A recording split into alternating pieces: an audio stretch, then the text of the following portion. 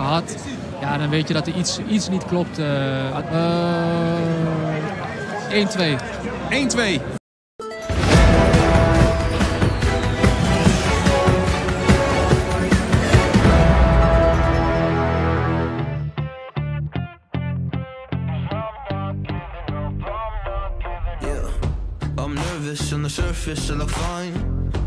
Fortuna Sittard dipaksa bermain imbang oleh tim tamu RNEC dalam duel lanjutan Eredivisie 2023-2024.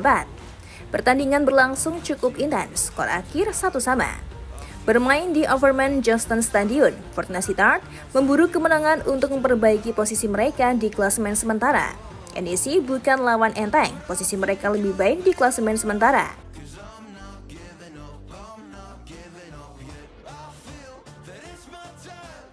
Laga berlangsung dengan intensitas tinggi. Tuan rumah tampil agresif dan lebih banyak mengancam.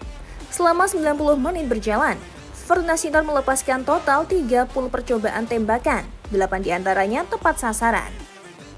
Duel Fortuna Sittard kontra NEC memang terjadi di Liga Belanda. Tapi pertandingan ini pun mencuri perhatian fans sepak bola Indonesia. Betapa tidak, ada winger timnas Indonesia yang bermain di laga ini, Ragnar Ratmangun. Ragnar turun sebagai starter dan mengisi sayap kanan Fortuna Sittard. Dia tampil solid dengan 5 percobaan tembakan dan 100% umpan akurat plus 4 tackle bersih.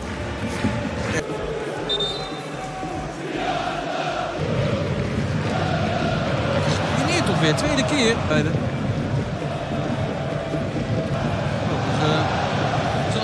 Met een lekker strakke voorzet en uithalen was het al. Rotman Boem, niet makkelijk.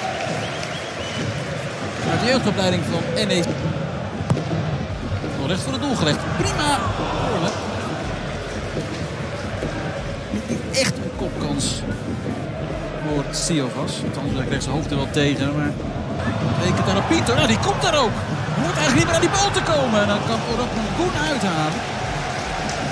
De steekpaas van Halilovic lijkt niet geweldig. Goed.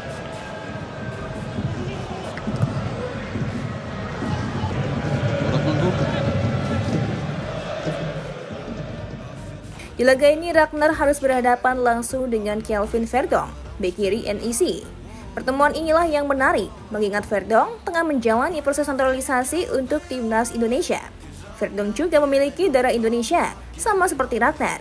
Keduanya sama-sama berusia 26 tahun dan kini jadi starter reguler bagi timnya di Eredivisie kasta tertinggi Liga Belanda. Oh.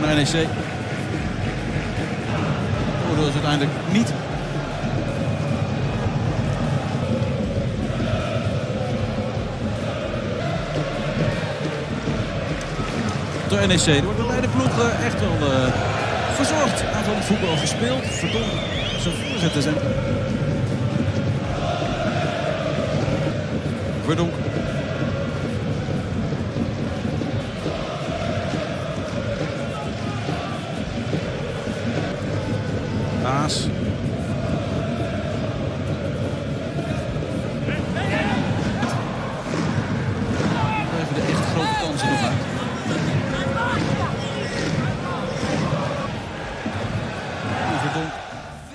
Kali ini disiplin tinggi Verdong di lapangan berhasil mengatasi ancaman Ragnar. Perandingan berakhir imbang satu sama. Tom He dan Ragnar Ratmangun mencatatkan debut manis bersama timnas Indonesia. Keduanya berhasil membawa tim berjulukan skuad Garuda itu menghajar timnas Vietnam di kualifikasi Piala Dunia 2026. Timnas Indonesia menghajar Vietnam dengan tiga gol tanpa balas dalam partai keempat grup F putaran kedua kualifikasi Piala Dunia 2026 zona Asia di Stadion Nasional Maidin Hanoi. Kembali ancaman lagi, Ragnar Ronat bangun, satu tendangan, berbuah gol kedua!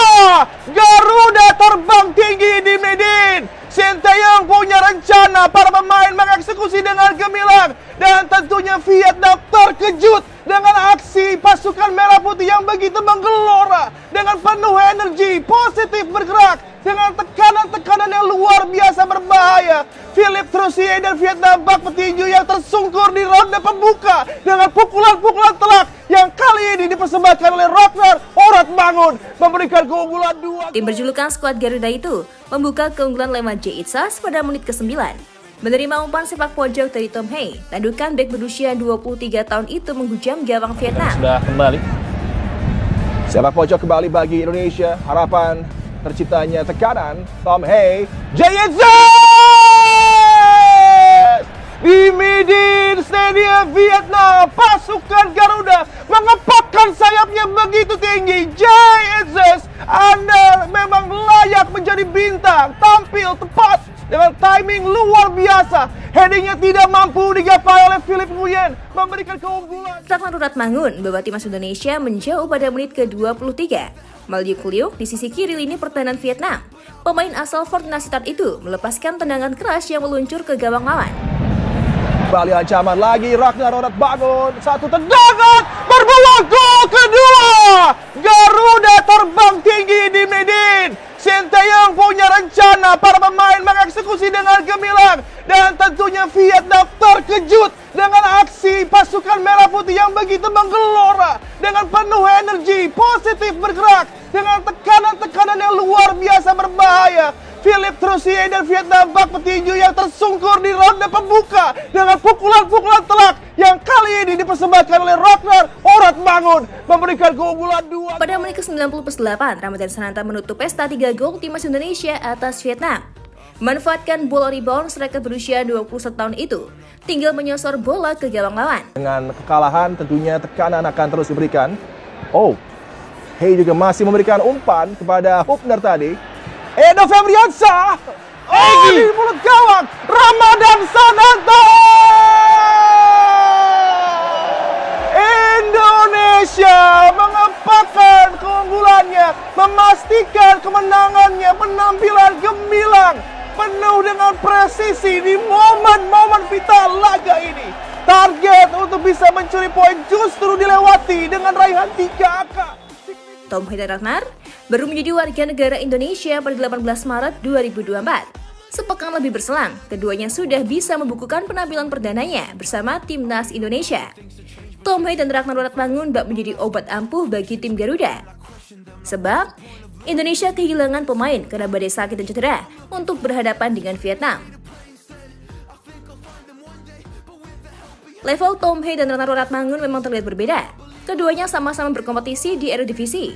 Nama pertama bermain untuk Fortuna Sittard, sementara yang kedua membela FC Heerenveen. Sementara itu, Tom Hayes dari awal telah menganalisis kekuatan Vietnam. Pemain berdarah Solo, Jawa Tengah, dan Minahasa, Sulawesi Utara ini telah mempersiapkan cara untuk meredam lawan. We fought for it, everyone. Three points, yeah! Membuat Messi Vietnam menangis.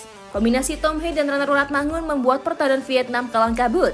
Bahkan, kombinasi keduanya juga berperan dalam gol kedua timnas Indonesia. Cantik rasa, sudah saatnya kita berpisah. Khusus buat kamu, nggak perlu khawatir. Kita akan berjumpa lagi dengan video berikutnya Timnas Magazine. Nah, biar kamu terus update seputar Timnas Indonesia, jangan lupa subscribe Timnas Magazine.